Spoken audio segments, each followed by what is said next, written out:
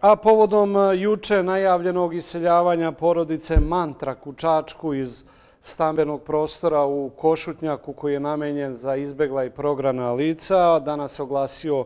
i direktor Gradske stambene agencije Milan Draškić koji kaže da će ova agencija zajedno sa Centrom za socijalni rad učiniti sve što je moguće da spreči iseljavanje, odnosno da ovoj porodici obezbedi dalji boravak u ovom stambenom prostoru.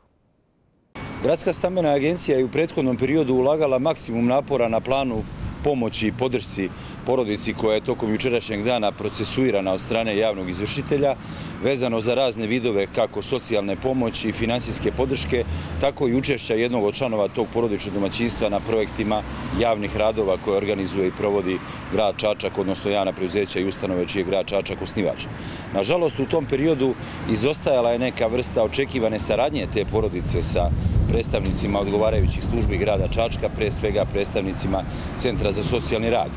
No bez obzira na to, zahvaljujući ljubaznosti direktorke Centra za socijalni rad, 8. maja tekuće godine bit će organizovan radni sastanak u prostorijama centra na kome ćemo ponovo razmotriti sve vidove i aspekte pomoći i podrške ovoj porodici, finansijskog i budžetskog karaktera, kako bi se sa takvom pomoći obezbedilo takozvano subvencionisano zakupljivanje postojećeg stambenog prostora koji koristi ova porodica i kako bi oni nastavili da borave u postojećem stambenom prostoru kroz vid takozvanog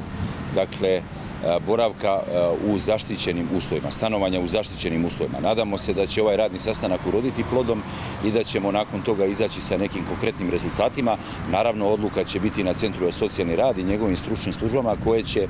iz svih uglova dakle, analizirati ovu porodicu i ispunjenost uslova da se oni nađu na listi nekoj koji je već četiri porodice koji su korisnici usluga Gradske stamene agencije u Košutnjaku u prethodnom periodu obezbedili.